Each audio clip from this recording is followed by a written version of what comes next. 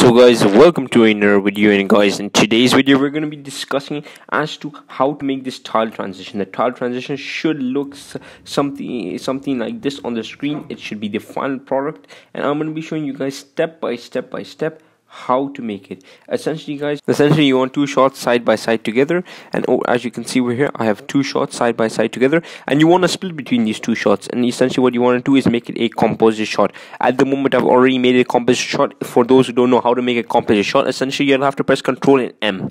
Um i've already done that so once you've done that just double click it and that should take you to your composite shot where you can do some editing it brought it over here.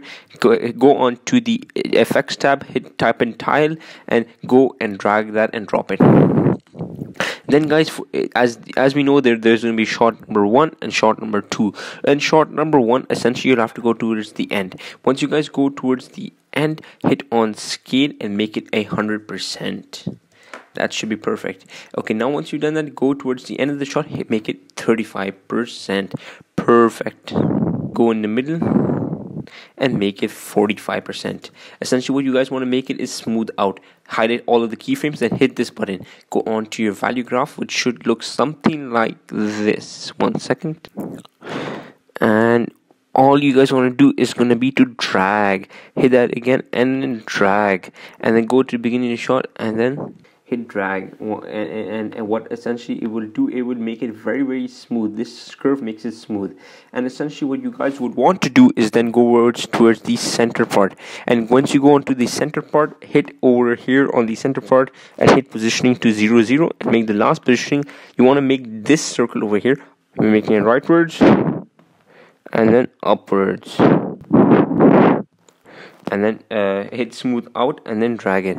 And then go to the second shot and go over here and then drag tile and apply it again and then make it 35% and then make it one go on the minute one and then make it a hundred percent. Perfect. In the middle make it 45% and then go on to the centering make it towards the end and then make it uh, make it leftward and then uh, then then go, then go over here and then essentially make sure that the value graph should be the opposite to this.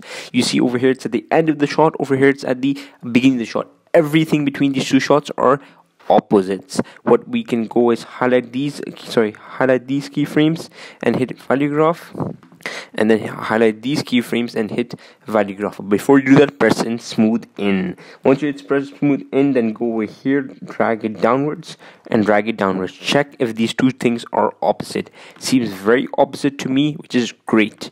Hit back here hit back here hit value graph go to the second shot check the value graph make sure it's going to be the opposite.